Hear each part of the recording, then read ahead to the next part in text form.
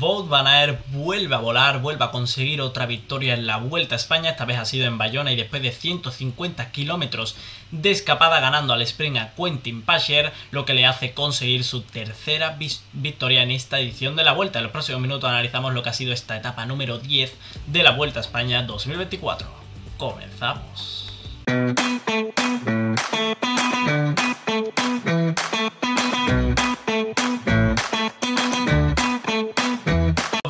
Haciendo un breve análisis, un breve eh, resumen de lo que ha sido esta undécima etapa, una etapa en la que se subía casi a balón parado, casi de partida, ese alto de Fonfría donde se formaba el primer grupo de escapada, la primera fuga, formada por Wout van Aert, Marsuler y Williams Jr. Leserf. Después del descenso de Fonfría se unían Yuri Holman y Quentin Pacher a 31 kilómetros a, 31 kilómetros de eh, meta atacaba eh, Van Aert y Quentin Pasher y empezaba esa subida al alto de Mugas. Era, el ataque fue prácticamente justo antes de llegar a las faldas del alto de Mugas. Pilló despistado a Lecerf, a Soler y a Holman. Por lo tanto, se iban Van Aert y Quentin Pasher. Van un poco más polivalente y Pasher algo más escalador. Por lo que en principio el momento de Pasher era en ese alto de Mugas y si no, Van iba a ganarle en línea de meta, como ha sido lo que finalmente ha sucedido. A 5 kilómetros de coronar el alto de Mugas, veíamos en el grupo durante toda la subida estábamos viendo como el Decathlon era el que tiraba con un Valentín Parén Painter que lo ha hecho realmente bien, pero a 5 kilómetros de meta se colocaba delante el chaleco Cepeda con Richard Carapaz y parecía que iba a llegar el ataque, pero finalmente no llegaba un ataque que realmente no se podía producir ya que había poca pendiente en esos últimos kilómetros del alto de Mougas. A 2 kilómetros de meta ya se retiraban Cepeda y Carapaz y empezaba a tirar Matías Cataño, lo que hacía pensar que quizás Mikel Landa iba a probar un poco a Ben O'Connor, finalmente no se produjo ese ataque y a un kilómetro de eh, de coronar ese alto de Mugas realmente ya hubo un parón y volvió Valentín Pared Painter con Ben O'Connor a la cabeza para ralentizar el ritmo del pelotón. A partir de ahí, mucha tranquilidad en el grupo eh, del pelotón. Por delante, Mar Soler iba persiguiendo siempre con Lecerf y Holman, que ya se había quedado antes a Van y Pacher. No lo conseguían, finalmente se dejaban caer y veíamos como a 2,5 kilómetros de meta eh, Juaristi, el ciclista del Euskaltel Euskadi, lanzaba un ataque desde el grupo, un grupo que ya estaba más de 5 minutos, pero realmente el ataque era para buscar una buena posición en meta y conseguir muchos puntos UCI para el equipo Euskaltel Euskadi. Finalmente Juaristi ha quedado 18 segundos por delante del pelotón, por lo tanto lo ha hecho realmente bien. Y luego veíamos como a 1,5 kilómetros de meta en un falso llano que, que había, llegaba ese ataque de Quentin Pasher fácilmente neutralizado por eh,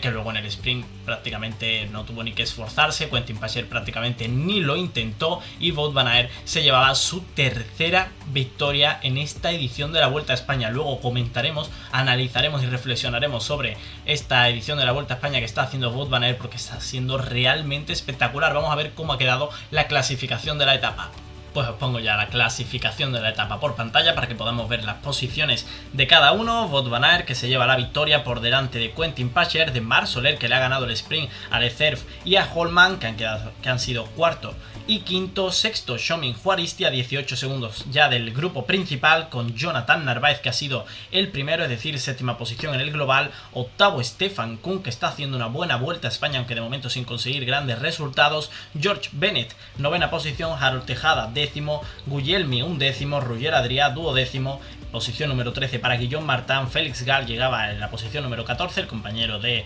Ben O'Connor y en la posición número 15 José Félix Parra, el ciclista del equipo Kerr Pharma, como podéis ver séptima posición para Jonathan Narváez que ha ganado realmente fácil el sprint del grupo principal, un Jonathan Narváez que creo que tiene que meterse en algunas escapadas porque tiene potencial desde, desde luego sobre todo para estas etapas que no son tanto de alta montaña sino que son algo más de media montaña con mucho desnivel positivo pero realmente con ascensiones que no son realmente duras, creo que son días muy marcados para Jonathan Narváez. Hoy no ha conseguido meterse en fuga, vamos a ver mañana que vuelve a ser un día con 3.000 metros de nivel positivo y muchas oportunidades para este tipo de ciclistas. Y ahora vamos a analizar, vamos a reflexionar un poco algunos detalles importantes de esta etapa número 11. El primero de ellos es la lista de abandonos que hemos tenido en el día de hoy. Han abandonado Aaron López, el ciclista de la Astana, Kobe Gossens, Lorenz De Plus y Julio Chicone. Los tres primeros abandonaban antes de disputarse la etapa y Julio Chicone abandonaba durante el transcurso de esta undécima etapa de la Vuelta a España. decir ahora, reflexionar un poco. El primero de ellos, el primer aspecto que quiero, del que quiero hablar es Mark Suller, que cuando veíamos la escapada decíamos, tenemos un alto de Mugas que se corona a tan solo 15 kilómetros, 15-20 eh, kilómetros de meta, por lo tanto, quizás puede ser un día para que Mark Soler se lleve la victoria, porque el alto de Mugas era bastante para escaladores, aunque Van lo podía pasar bien, pero Mark Soler podía lanzar un buen ataque, lo que pasa es que Van atacó por sorpresa y Mark Soler no le pudo seguir, por lo tanto Mark Soler, que pensábamos que quizás era el favorito para llevarse la victoria viendo la escapada que se había conformado, finalmente no podía llevarse la victoria y llegaba tercero, como digo, en ese segundo grupo. Ese es el primer detalle que creo que hay que analizar, como Mar Soler quizás era el favorito viendo la escapada en una etapa de media montaña en la que se acumulaba mucho de nivel positivo, pero realmente no ha podido ser su día. El segundo detalle a analizar, seguramente el más importante, seguramente esté siendo una de las figuras de esta Vuelta a España, seguramente con Ben O'Connor y con Primo Roglic, es que tenemos que hablar de Wout van Aert, del belga del Bisma Bike, que, que, hoy se ha llevado su tercera victoria de etapa, lleva también dos segundos puestos, un tercer puesto en la crono inaugural, estamos viendo cómo consigue victorias al sprint en etapas de montaña, también estuvo muy cerca en la crono inaugural, por lo tanto vemos que su polivalencia es espectacular, ya digo, tres victorias de etapa, ha sido dos veces segundo y una vez tercero, desde luego le está salvando la vuelta al Bisma. Bike, que de momento con Sepkus apenas está pudiendo sumar puntos UCI y sobre todo sumar buenas posiciones en las etapas que no solo es que está ganando eh, o consiguiendo muy buenas posiciones eh, Wood Van Aert, sino que además en el maillot verde hoy ha vuelto a ganar el sprint intermedio, también ha conseguido los puntos del final de etapa, por lo tanto Van Aert ya está muy destacado para llevarse la victoria en ese maillot verde que solo le podría quitar Caden Groves, pero realmente solo quedan una o dos etapas al sprint y la polivalencia de Wout Van Aert, la capacidad para meterse en tantas escapadas seguramente le, va a acabar dando el maillot verde, por lo tanto prácticamente asegurado el maillot verde para Wout van y no solo eso sino que también el maillot de Lunares, el maillot de la montaña está ahora mismo en sus manos puesto que se encuentra ya empatado a puntos con Adam Yates, desde luego está haciendo una vuelta a España que además es su primera espectacular para Wout van Aert que ya digo lidera en, la maillot, en el maillot verde realmente destacado y está empatado a punto ya con Adam Yates que es un excelente escalador en la clasificación de la montaña realmente espectacular eh, la vuelta a España de Wout van Aert al que toda todavía creo que le quedan varias victorias de etapa.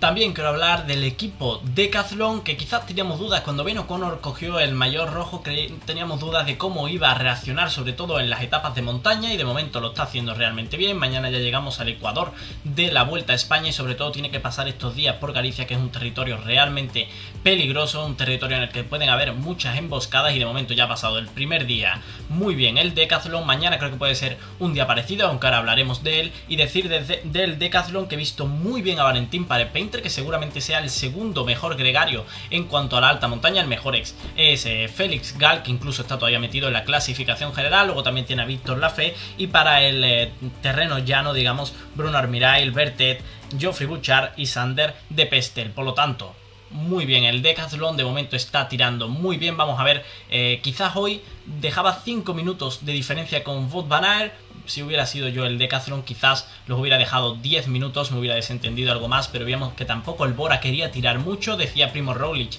que en la etapa de Azayanas había, había notado molestias todavía en la espalda, por lo tanto hoy el Bora tampoco quería tirar, así que de momento el Decathlon hoy no ha tenido que hacer mucho trabajo. Mañana parece que puede ser otro día para la escapada, así que el Decathlon guardando fuerzas para todas las etapas de alta montaña que vienen. También destacar al siempre valiente Richard Carapaz, el ecuatoriano que hoy ha estado cerca de lanzar un ataque, parecía que iba a atacar cuando el chaleco Cepeda se ponía a tirar del grupo dejando a muchos ciclistas atrás, reduciendo en muchas unidades al grupo principal, pero finalmente no llegaba el ataque de Richard Carapaz que veía también pues lo que he comentado antes, que quizás ese puerto llegaba unos kilómetros en los que no había tanta dureza como para probarlo, creo que mañana puede ser un día en el que sí que se pruebe, son 3 kilómetros al 9% de pendiente media, el puerto que se corona 6 kilómetros de meta, por lo tanto creo que Richard Carapaz, el siempre valiente ecuatoriano, puede lanzar un buen ataque en, eh, esa, en última subida que se corona, como ya digo, a 6 kilómetros de meta, ese puerto Crucheiras que puede determinar quién es el ganador